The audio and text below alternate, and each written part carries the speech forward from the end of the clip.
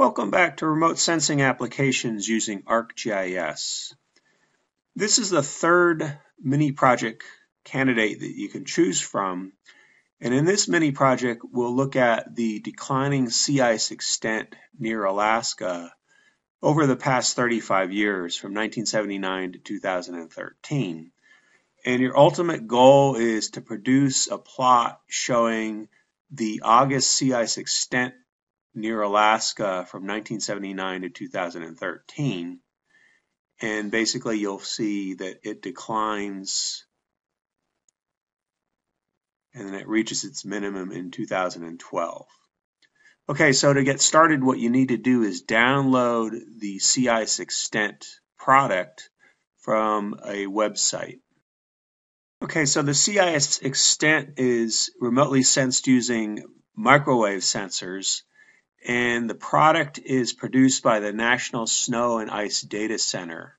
So if you go to this website, National Snow Ice and Data Center.org slash data slash GIS slash data dot HTML, and then just scroll down, here's the sea ice index product. And what we want to do is get the shape files that were produced from the microwave remote sensing. So if you go to the FTP site, we want for every year the minimum extent ice. So that would be in August. So then the next step would be to go to the August folder. And then the SHP extent folder. And then download the polygons for North America or for the Northern Hemisphere from 1979. So this polygon all the way to 2013. So our last polygon we're going to download will be extent North America or Northern Hemisphere 2013 August polygon. So you'll download those files and there'll be 35 zip files for 35 years. And then you'll unzip those 35 files and then you'll have 35 shape files that we can work with. So I've unzipped the 35 files and then I'll add them into my data frame in ArcMap.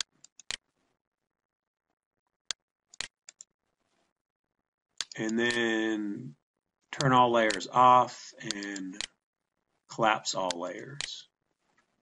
So here's the Northern Hemisphere sea ice extent from August of 1979.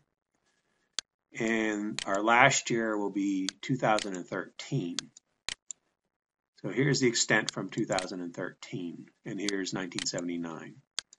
Okay, so what we want to do is we're interested in an area near Alaska. So we'll make a polygon defining our study area. And we'll do that in a new data frame. So insert new data frame. Okay, so I use the create fishnet tool to create a polygon with longitude and latitude areas around Alaska. So we're going to range in latitude from 67 degrees north to 76 degrees. And from the border of Alaska and Canada is negative 141 degrees west to negative 177 degrees. So our origin will be at negative 177 and 67 degrees north, and our y-axis will go straight north. So we'll go from negative 177 in the x straight north to 77 degrees. And then um, I put a zero as my cell width and cell height to let the create fishnet tool calculate what the appropriate width and height should be. And we want one row, one column because we want one polygon.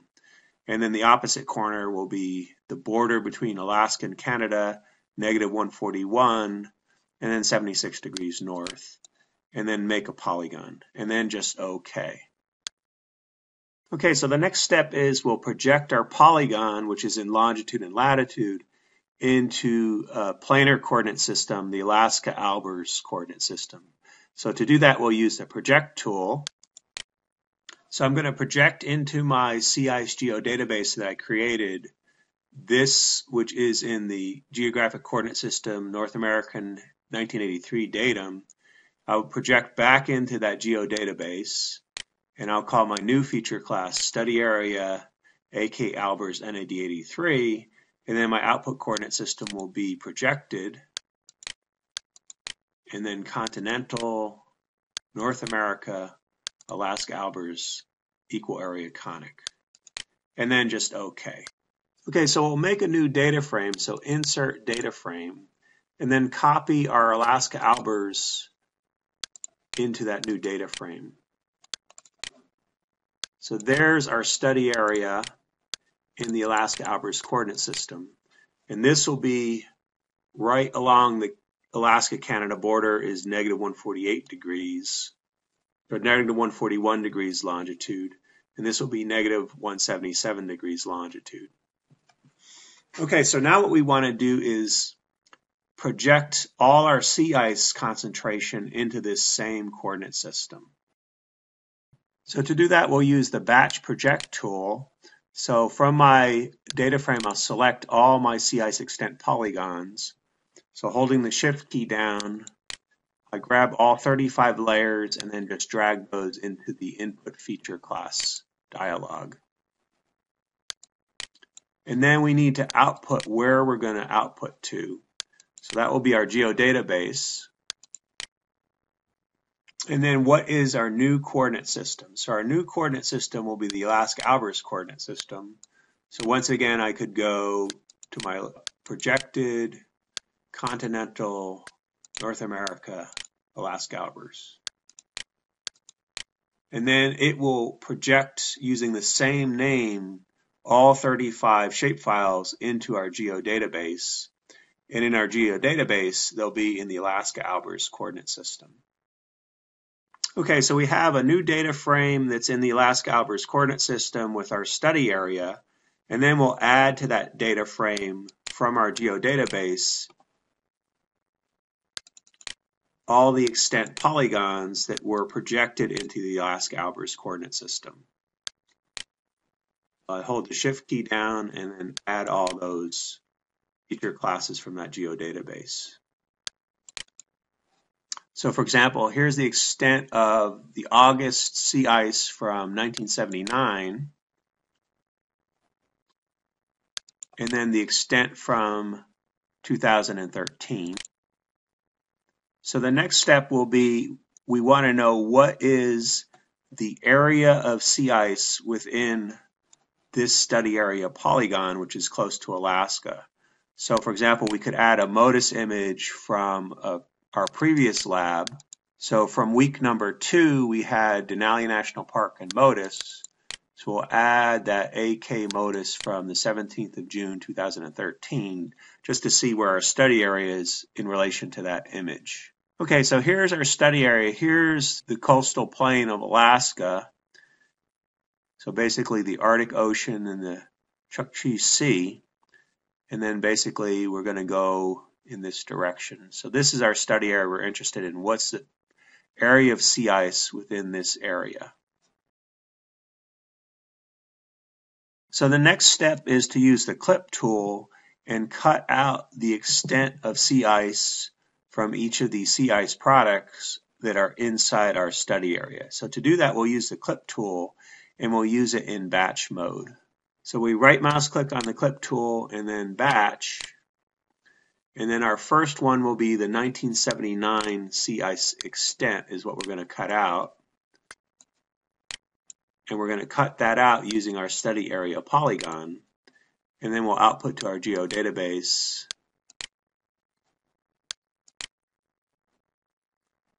and we'll call it clipped extent. And then you would do that for all 35 years. So you would add the next row, and the next row will be for 1980.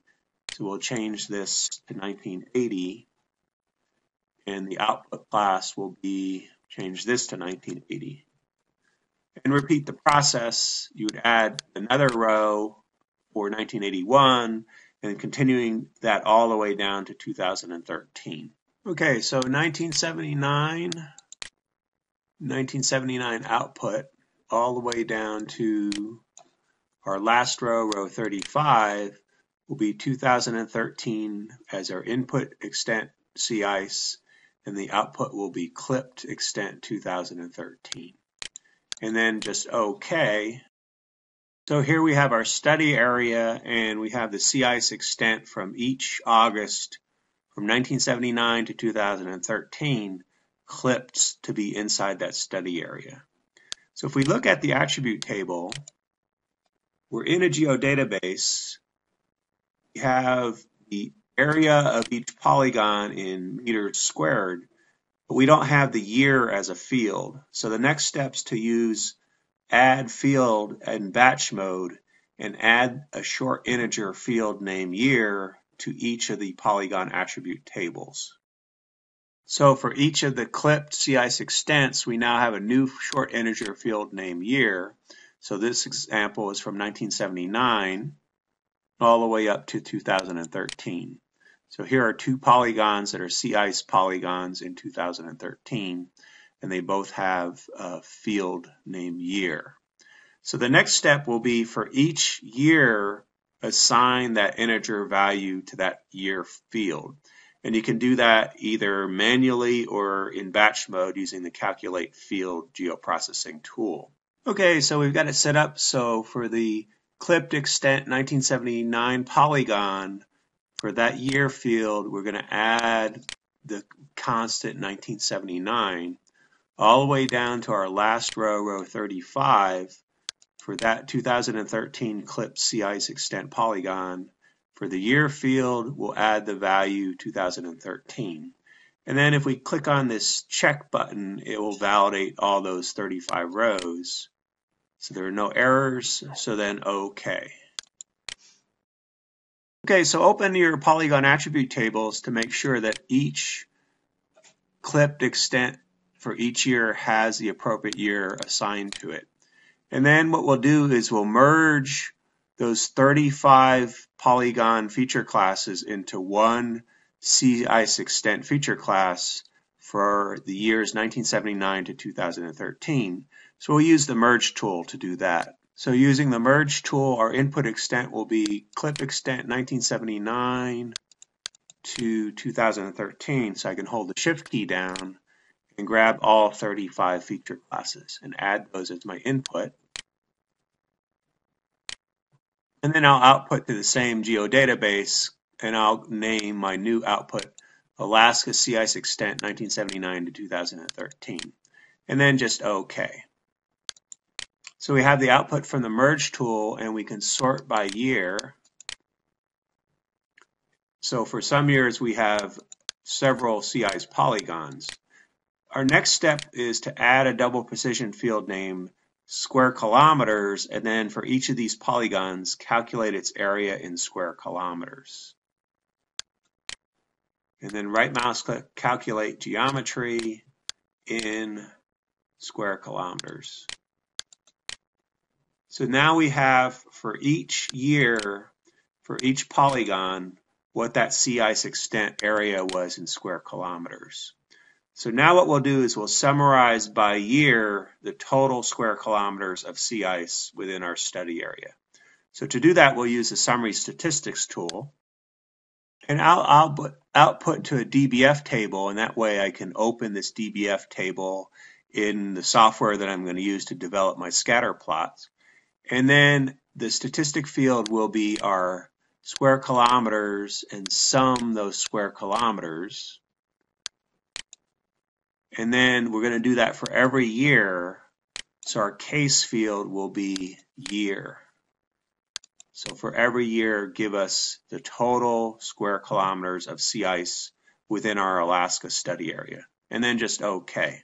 So here's our DBF table, and I changed the number format to zero to the right of the decimal, show thousand separators and pad with zeros for that field sum square kilometers.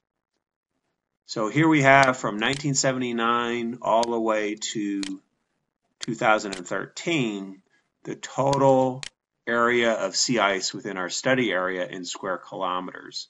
And since this is a DBF table, you can use Excel or whatever software you want to develop the plot of the total square kilometers of sea ice as a function of year, where year is going to vary from 1979 to 2013.